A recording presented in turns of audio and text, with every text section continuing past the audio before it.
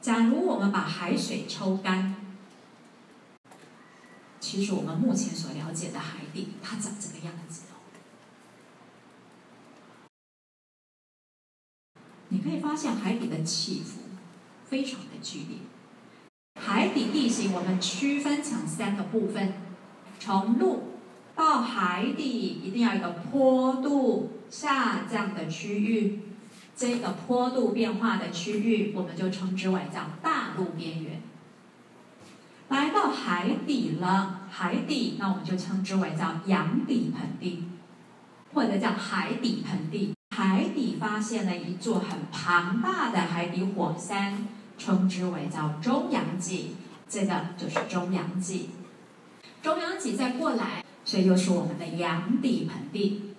洋底盆地再过来，紧接着要来陆地，所以又要一个坡度变化的地方，所以又是大陆边缘。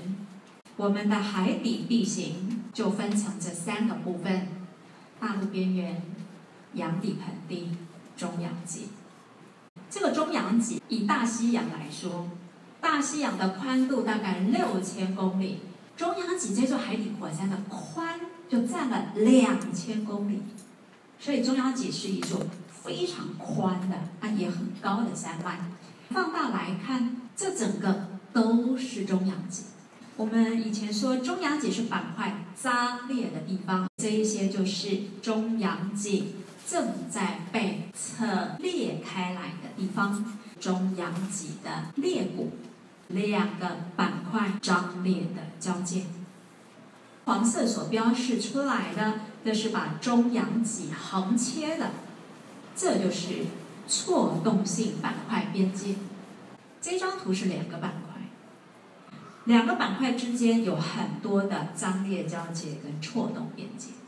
错动边界里面，地震特别频繁的地方，那里就是有很活跃的断层、转型断层。黄色的这一条都是错动性边界哦。裂谷跟裂谷之间的这一段就是转型断层。接着我们来看这个大陆边缘，大陆边缘就是由陆到海底的坡度下降的区域。南美洲两边的海底地形在大陆边缘的部分有很大的差异。大陆边缘坡度下降的区域就可以根据它的坡度是平缓。还是陡峭，又把大陆边缘分成不同的地形。比较平缓的部分，我们就称之为叫大陆棚；坡度比较陡的部分，称之为叫大陆坡。在大陆坡，接着哎，又出现了一个坡度又再次变平缓的区域，它是在大陆边缘，又有东西堆在这里堆积。才让它坡度又变平缓，所以这个部分称之为叫做大陆原基。大陆坡这边比较陡，所以海洋的泥沙沉积物很容易在大陆坡这个地方就发生海底崩落，所以就会堆在这个角落，啊，所以这边就会堆出一大片它坡度比较平缓的，这叫大陆原基。南美洲往太平洋的这一侧。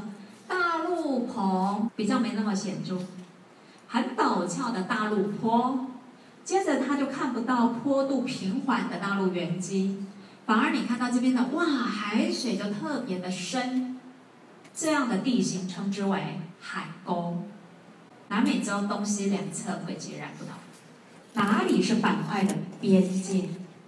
海沟，它就是两个板块的边界，聚合性板块边界。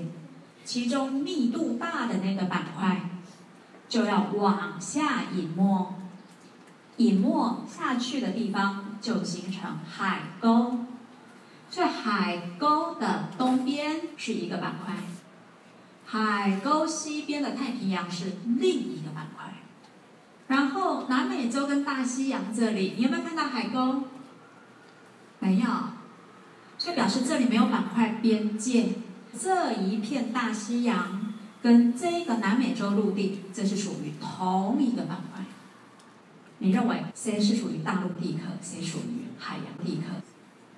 刚刚说海沟是两个板块的边界，所以洋底盆地这是属于海洋地壳，它密度大，才从海沟的位置隐没。这边大陆棚、大陆坡这边是属于大陆地壳，它的密度比较小，所以记住哦，大陆边缘是花岗岩这一类的岩石，它是属于大陆地壳。洋底盆地中洋脊，它是玄武岩这一类的岩石，它是属于海洋。